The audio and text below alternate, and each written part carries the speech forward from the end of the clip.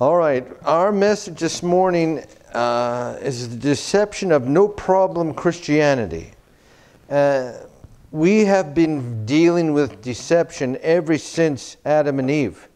Adam and Eve were deceived into believing that if they would just eat that fruit, whatever it was, uh, they were going to become gods. They were deceived into that. If we would look at Samson, he was deceived into believing he could sleep with the enemy and not lose his purpose or his passion. Uh, David trying to deceive the nation when he committed adultery with Bathsheba, that somehow he could deceive the people into believing nothing happened. Uh, so we are born into sin, and one of those sinful issues we have is deception. Uh, we don't want, in fact, uh, we don't want people to know how bad things are in our lives, too. It can be. Uh, people ask, Well, how are you doing? Well, everything's good. I, I wonder sometimes it would be like if you said, if someone asked you those questions and through the whole day you had to say exactly how you felt, you couldn't just brush it off. I wonder if people say, Well, how are you doing? Do you really want to hear about it? You know, you'd probably have people saying, Well, we are measured by the enemy in how he can deceive us, especially when it comes to temptations. Uh, even if we were to go back to David, I would wonder if, if the enemy was preparing well ahead of time for how he was going to get David by maybe just taking a look, a sideward glance somewhere and uh, David says, No, I'm not going to do that because uh, we were told by Job we're not supposed to look at ma- maidens, especially when we got a wife. We don't need to look at someone else. And then the second time, well, maybe it wasn't so bad. Then the third time, all of a sudden, we got problems. Deception is like erosion in the sense that it causes our faith to be eroded away. And when we start rejecting truth, we settle for something else. And when we reject truth, where we end up with is lies. the problem is, and especially in our world, we would rather believe lies than truth. We would rather be deceived. The fact that there's a song, I don't know why it just came to my mind right now. It's not that I listened to that song, but there's a title of a song, Tell Me Lies, Tell Me Sweet Little Lies. What is that all about? That's what we want to hear. Don't tell me the truth. I want to hear something that is uh, uh, pleasing to me. And America, I think, is being devastated right now because we want lies. We want to believe that the two men that we've got up for president are the two best men we could ever come up with. You know, and we lie to ourselves or we try to tell people, you know, hey, these things are all right. Uh, but I want to focus more on our Christian faith and the deception that can come out there. And, and I've heard it, you've probably heard it in songs. Whenever you come to Jesus, everything's going to be okay. It's going to be pie in the sky, no problems, because when you come to Jesus, everything is going to be all right. Uh, that's not a bill of goods I want to try and sell. Because, yes, when we come to Jesus Christ, He forgives our sins and He can help us to conquer all of the bad habits, all of our attitudes, and some of those take a lifetime to overcome. It's not like when we come to Jesus, everything is going to be okay, because if we were to look at Jesus' life, He had struggles from the beginning to the end. Uh, here's a couple of examples I want to look at at how people do that. Uh, there's a televangelist worth $760 million. And I just looked up this week to make sure I was correct on that, at the last count. He, he has his own $20 million jet, among other smaller jets, his own private runway, and his $10.8 million estate. And he tries to tell us if we are faithful to God and, of course, to Him by sending Him our tithes and our offerings, we will experience a blessed bank account and good health. Uh, I didn't say that, so we can. Another con man, and, and this guy, I remember seeing him back in the 80s. He said, Send me your prayer requests. We are going to pray for you. And uh, what happened, interestingly, later on is uh, it came out that all these big bags, big garbage bags full of prayer requests were coming to him. Unfortunately, by the time he got them, all of the donations were taken out and put aside. And what he did is he would lay on the garbage bags, have a quick prayer, and off to the dumpster they went. But he did pray over those. Uh, and from another a number of sources, we find another pastor with the big smile. And I remember my wife saying, You need to smile like this pastor because he's got this beautiful smile in the pulpit. And he is in Houston, and from his book sales and from his church, he pulls in $55 million a year. And he built not long ago a $10 million mansion because God said, Treat your wife to a beautiful thing like this. And I look at these things, brethren, and I say, You know what? First of all, I say, Am I in the right denomination? That's the first question I ask. But we are giving these empty promises that when you come to Jesus, all your sorrows are gone. All your troubles, your health scares, your financial hardships, they're all going to be gone because why? We're supposed to smile and say, because Jesus loves you. He loves us and we are not worthy of all the gifts He gives us in life. But, brethren, I believe the closer a person gets to God, the more challenges and the more hardships you're going to have. Why? Because we got an enemy who does not want us to have a relationship with God. So he's going to try his best to steal, to kill, and to destroy all that Jesus has given to us. So I want to say, hallelujah, thank you that we've got a Savior who loves and cares for us. But, brethren, we have to realize when we are born into a sinful nature, death is a part of life. And we don't like to face that. We like to have the idea, somehow I'm going to beat all of this. We can't.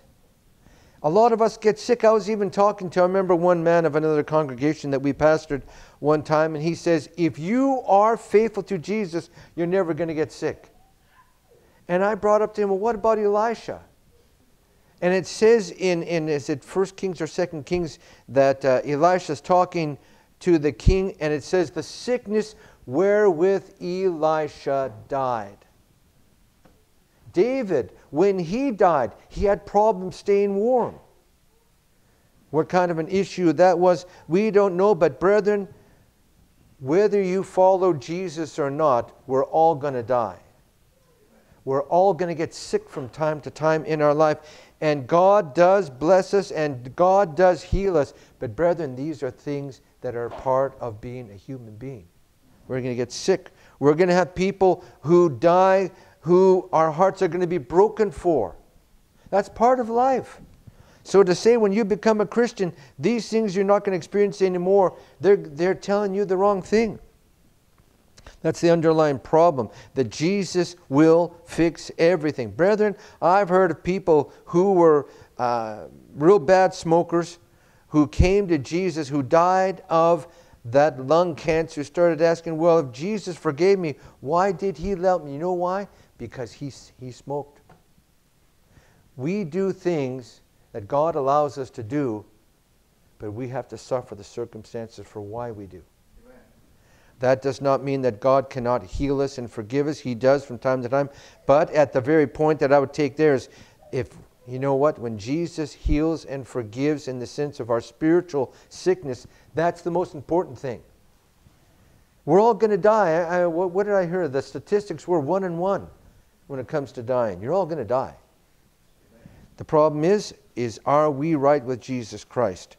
And can Jesus help with these issues? Many of us, if we had te- uh, testimony service of the miracles of God, He does do miracles, but He's not going to answer everyone. That doesn't mean He doesn't love and care for us. The call to Jesus is the call to discipleship.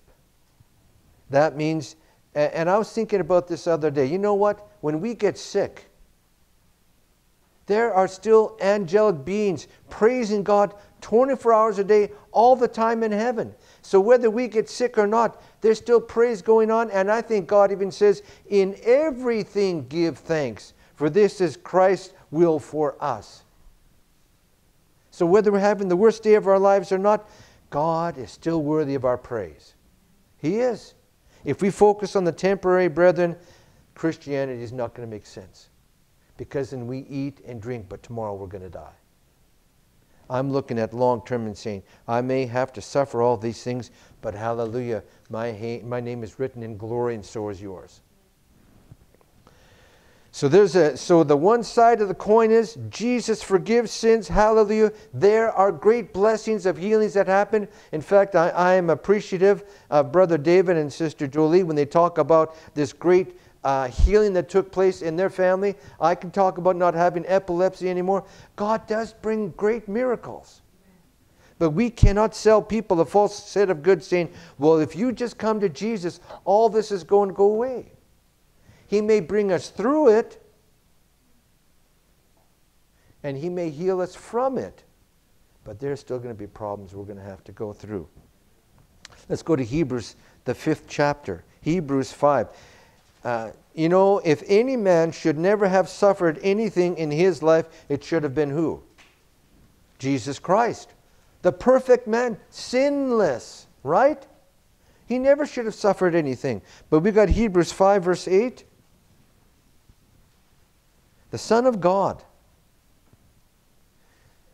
Hebrews 5 and verse 8, it says, Though he were a son, referring to being the Son of God, Son of the Almighty, yet learned he obedience. How did he learn obedience?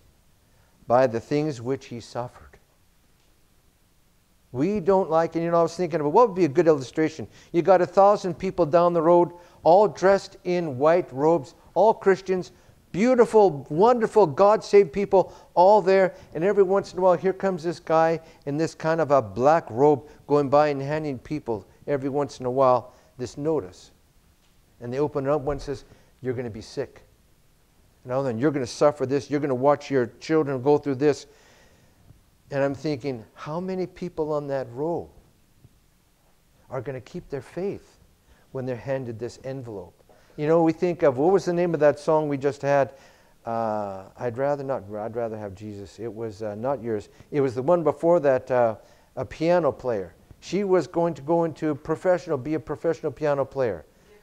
Yeah, and so Annie Johnson. Okay, guess what? Most of her hymns were sung when she was suffering from uh, a severe form of arthritis. She got down to the point where she was less than four feet tall because the bones were going like this on her. She could barely use her fingers, and they'd had to tape uh, Crayola chalk so she could write while she was suffering on this bed. And I think she also had cancer, too, if I'm not mistaken. Yet, through all of that, what does she say? In her last song she ever wrote, which was what? He giveth more grace. She suffered to write that last song, they said horribly, and yet she wrote this beautiful song while she was suffering. And, brethren, I want to challenge us, which means I'm challenging myself. We need to have a spirit of grace through the good and the bad times. And that beautiful song that's sung by, uh, uh, He's the same God on the mountain as He is in the valley. He is. He is worthy of our praise, whether we've had the best day of our life or the worst day in our life. That's what the Christian life is all about. God is leading us through these hard times to bring us towards uh, His kingdom. And look at Jesus. What did it say, Hebrews 5 8? What did Jesus have to learn? He was omniscient. Am I not right about that? Is he not all knowing? Was he not given that attribute? Yes, he was. And yet it said he had to what? Learn. Learn what? Through suffering. And that tells us, brethren, from this scripture just alone, we are going to suffer because God's teaching us things in our life. What are some of the things we're going to learn? That God is good all the time, that He'll bring us through the hard times, and that God loves us no matter the circumstances we have. We need to learn those lessons, brethren. Paul suffered and told Timothy, All who live godly shall what? So, brethren, if you're not suffering, there might be a problem there. All who live godly shall suffer persecution. It's a Christian fact of life. We are going to suffer. Now, Pastor, you don't want us to dwell on that saying, Hi, I'm a Christian and I'm suffering. I'm not trying to say that. What I'm trying to say is, God is worth it all. When Jesus comes again, we're going to say, It was worth it all. We're not going to dwell in eternity. Oh, Jesus, we need to look at all the things I suffered in my life. Are we going to be saying that? We are going to be praising Jesus for bringing us through that and bringing us home. Romans 8, verses 17 and 18. We're going to take a few scriptures and look about suffering here. And brethren, I don't like to think about suffering. You know why? I want a carefree life, don't you? Who wants to say, God, I just want you to do something bad for me today? I need to suffer. No one wakes up saying that. We want to be as blessed and as happy as we can be. And yet God does not say that's the way it's going to be all the time. Romans 8 17 and 18. And if children, then heirs, heirs of God and joint heirs with Christ. What did we just read about in Hebrews 5 8? He learned suffering. So if we're a joint heir with Jesus, we're going to jointly suffer with Jesus. Am I right on that? Do you remember? I'm just going to pull off for a second. Acts, the fourth chapter. The disciples were beaten up because of the name of Jesus Christ, and they went to the rest of their buddies, and they were rejoicing because they were found worthy to suffer. Are we going to be happy in Jesus suffering? They did. They got beat up for it. If so be that we suffer, what? With him, that we may also be glorified together. We come to Jesus Christ, but we're going to take a road that's called a suffering road. There is going to be grace, there is going to be joy in those days, but brethren, there's going to be hard days too. For I reckon, what is this Paul saying? That the sufferings of this present time are not worthy to be compared with the glory which shall be revealed in us. Why? We're going to have these new resurrection bodies. And brethren, I believe suffering causes us to appreciate more what God does for us. I don't want to see any, you know, when I went to go visit with Lisa this week on Friday, and you go by these rooms, and brethren, you cannot help but see all these people in these beds. And you know, one thought that comes to me is, I don't want to be there. I don't want to be in that bed seeing these people like that. What kind of an existence is that? That's how I feel because and if you if I said to all of you, who wants to go with me? We're going to go visit these. That's not going to be your first place you want to go. Why? Because we don't want to see that. And yet Jesus says, I want you to see what breaks my heart. So you go through and then you just start praying, God, please be with these people. And God, be with the workers who are doing the work. I don't think they get enough accolades for the stuff they do. Uh, that's why we go see Lisa. We want God to do something for her. And even if not, then we are there to comfort her. So there are things we need to do. Remember, Jesus said, If anyone wants to follow me, what did he say? Take up your what? Your cross. No, no, no, no, no, no, no. I want the crown. I don't want that cross. And yet Jesus says, if you're going to follow me, you take up your cross and follow me. You know why most people don't want to follow Jesus? The cost is too high. 1 Peter 4. Brethren, I am not here saying let's just pray that God's going to bring us suffering, but I do want to bring forth a point we are going to have times where life is not going to make sense, and we're going to ask God why, because God is big enough to take that question. 1 Peter 4, verses 1 to 3. For as much then as Christ has what? Suffered for us in the flesh, arm yourself likewise. What is he saying? Prepare your mind, prepare your, uh, your ideal thoughts of life to remember you're going to suffer too. Suffered in the flesh, arm yourselves likewise with it. You know what the arm yourselves means? It's actually putting on the armor. Arm yourself, get ready because you're going to suffer. It's just going to happen. With the same mind, for he that hath suffered in the flesh hath ceased from sin, that he no longer should live the rest of his time in the flesh to the lusts of men, but to the will of God. You know what I take from this point? I'm getting the idea the closer you get to God, the more suffering you're going to experience. For the time past of our life may suffice us to have wrought the will of the Gentiles when we walked in lasciviousness or our desires, lusts, excess of wine, revelings, banquetings, and abominable idolatries. So he's saying, listen, you are going to suffer in life. Whether you're a Christian or not, you're going to suffer.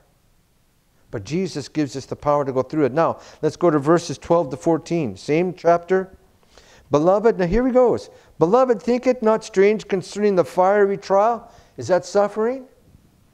Which is to try you as though some strange thing happened unto you. But rejoice. Ah, that's the hard thing to do, is to rejoice when we're going through hard times. Inasmuch as you are partakers of Christ's sufferings that when his glory shall be revealed, you may be glad also with exceeding joy. Brethren, let me tell you something. I've had toothaches in my life enough to know that there's suffering when you have a toothache. And when that tooth is pulled or whatever, you feel a whole lot better after it's all said and done.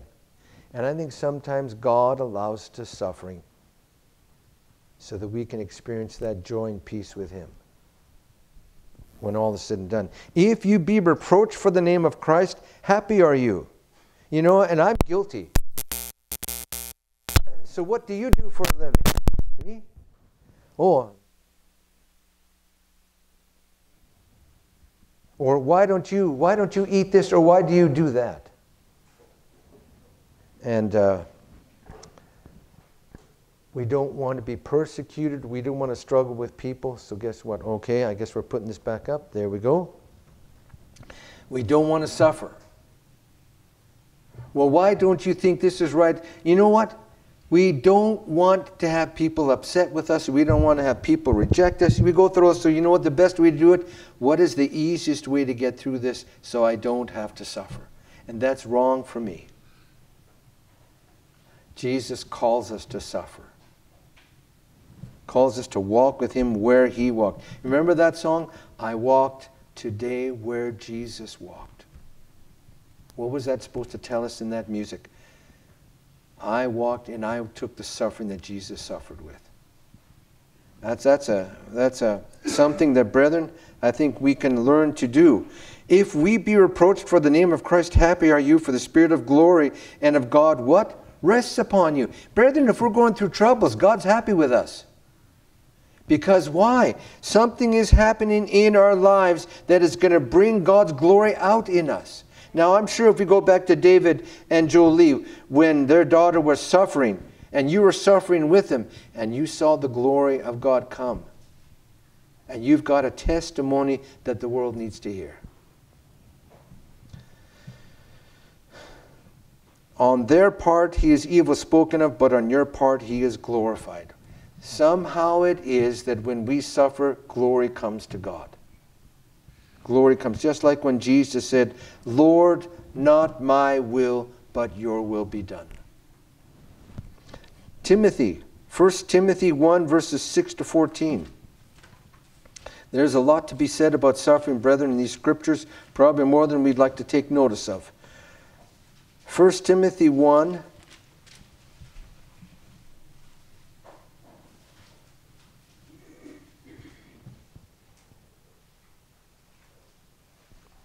verse 6.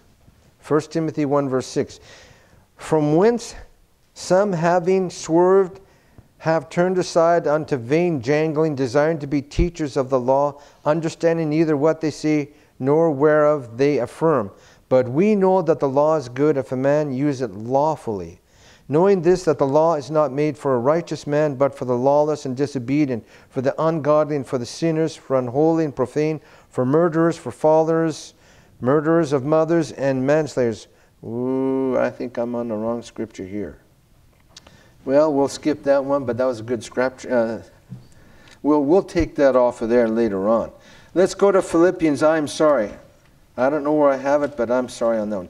Let's go to Philippians 3, verses 7 to 10. Is it?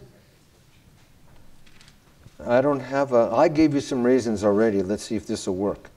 2 Timothy 1. Mm, you know what? That's fine. Let's go to Philippians. Philippians 3, verses 7 to 10. And I'll find out later on that you're right, Micah. Philippians 3, verses 7 to 10. This is speaking about, you know, let's go to verse 5 on this. Philippians 3, but we're going to start with verse. No, you know what? Let, let me go back here. Uh, we're going to do something real different. I'm going to add a scripture for you. Let's go to Philippians 2 for just a second before we get to the third chapter. Philippians 2, and let's start with verse 5. And this is submission to suffering that he was going to do.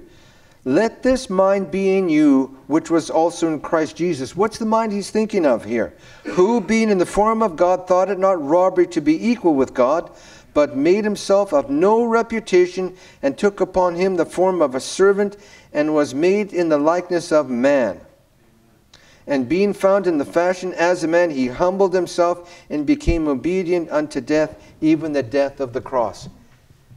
He knew where he was going as soon as he was born on earth, he knew what was going to happen to him. All of his life, he was going to be seen suffering. If we want to take a good picture, we go to Isaiah 53 a man acquainted with what? Sorrows and suffering. And yet, for the joy of what he was going to do, he saw that as he was willing to do. Are we willing to suffer so that others can receive joy? This is what Jesus. Now let's go to the third chapter, verses 7 to 10. uh, the Apostle Paul speaking about his personal life and what he's gone through. But what things were gained to me, those I counted loss for Christ.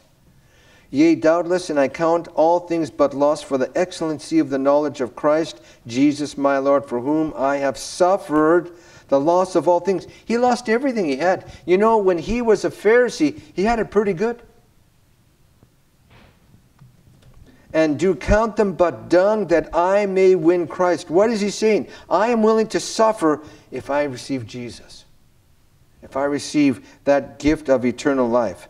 And be found of him, not having my own righteousness, which is of the law, but that which is through the faith of Christ, the righteousness which is of God by faith, that I may know him. Now, you know, this is a beautiful scripture, and we like the first part of it.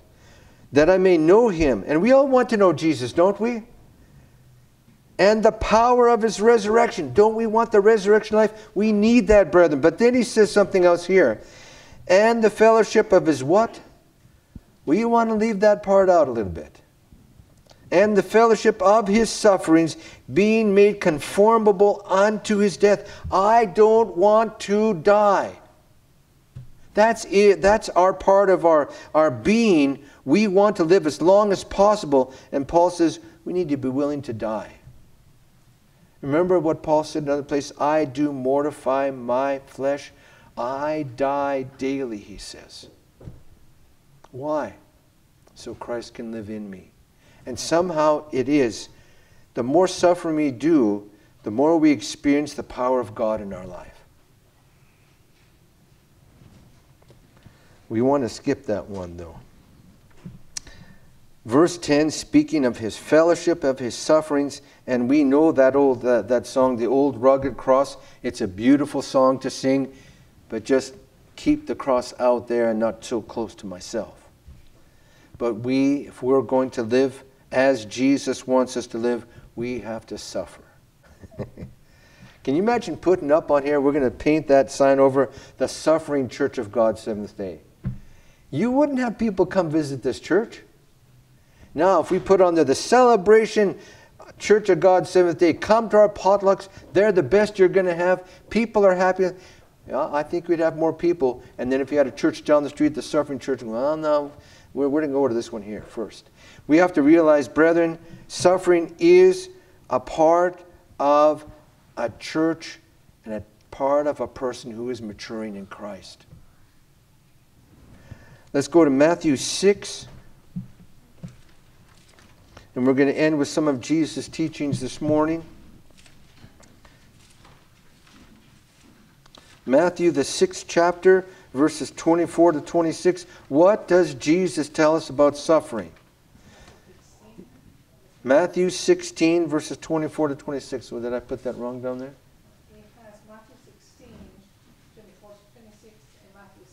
Yeah, no, that, that's, that's after that. I know some of you have to suffer with my preaching. Well, what's that? Oh, yeah, yeah. Matthew 16. I'm sorry, I said 6. There we go. Well, now you guys can come to Jesus one day and say, I had to suffer under this pastor for a while, you know. And Matthew 16, 24 to 26. Here we go. Then said Jesus unto his disciples, and you know, let's think about John for a second. You are my disciples if you do something. Then said Jesus unto his disciples, If any man will come after me, let him what? Deny his neighbor and take up his cross and follow me. What does it say? Deny himself. I don't want to do that. You know, can I be very honest with you? Uh, when potluck begins, I would love to be the first one in line.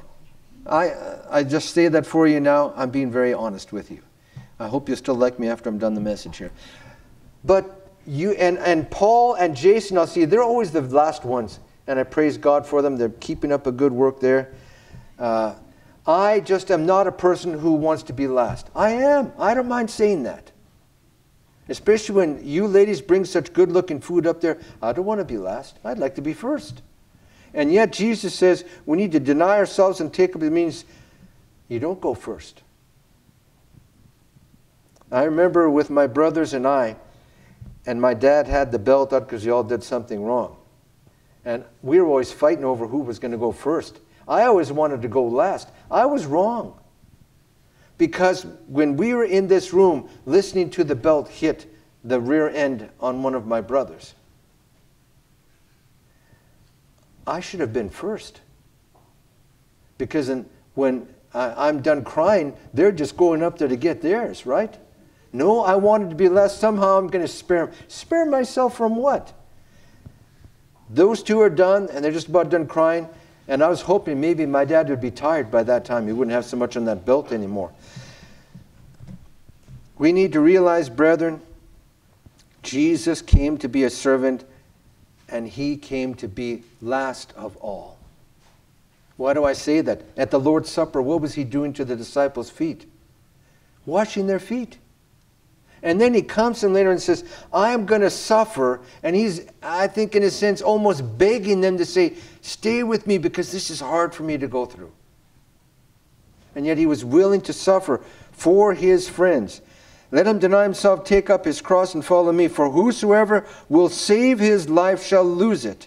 And whosoever will lose his life for my sake shall find it. Brethren, we've got to be willing to die to self and die to this life. This is what Jesus is telling us. For what, uh, you know what? I want to live to be a very old man and to see my kids' grandchildren. That doesn't mean that's God's plan for my life. And I have to accept whatever God has put before me. Be thankful in all things, it says. For what is a man profited? Look at this. If he shall gain the whole world, this is what we want as people, right?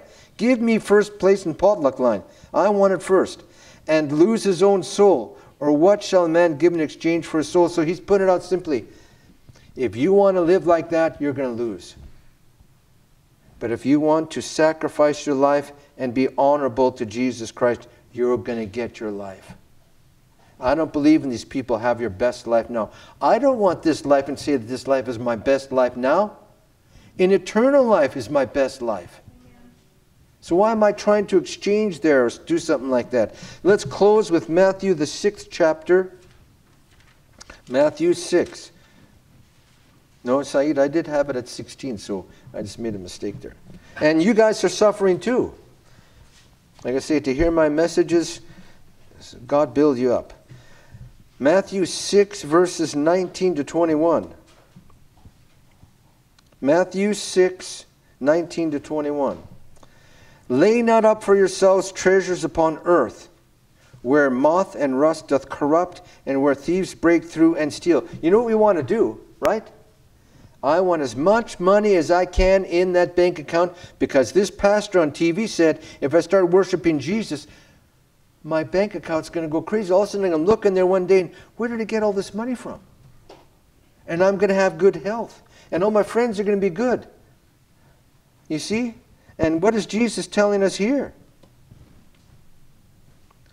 Lay not up for yourselves. Don't look for things that are temporary.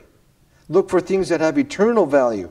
But lay up for yourselves treasures in heaven, where neither moth nor rust doth corrupt, and where thieves do not break through nor steal. And the devil's always trying to steal from us. Where your treasure is, there will your heart be also. Where is your treasure? Is it in this life? This life is a call to what I've been talking about suffering. But you know what? There's great glory in serving the Lord. I would rather suffer now and have Jesus than have a carefree life and face judgment one day. Something about suffering, God is, He finds such great glory in our lives because when we suffer, who, who isn't it? If, if one of our kids, remember when they're little and they had a headache or something, they'd come to us, what do you want to do for them? Here, let's give you something to take away that headache. We want to help them. Isn't God going to do that for us? And God is long suffering to usward, not willing that any should perish, but that all should come to repentance. Why does He allow long suffering for us? Because somehow, someway, we're going to have a testimony to give to other people who need to hear the truth. Suffering, it's a mark of a maturing Christian. Father in heaven, we thank you that you asked your son Jesus to come and suffer for us with the beatings, with the rejection. He came unto his own, but his own received him not and finally crucified, and yet the glory that was revealed on resurrection morning was worth it all. Lord, help us to realize we are called to a life that does show the world. We praise a God who is alive today. But Lord, help us also to realize there are going to be days that are going to be suffering. But Lord, you're going to lead us through that suffering because of the power of Jesus that rests on our hearts and our lives. We praise you and thank you that in all things we can give thanks to our God. In Jesus' name, amen.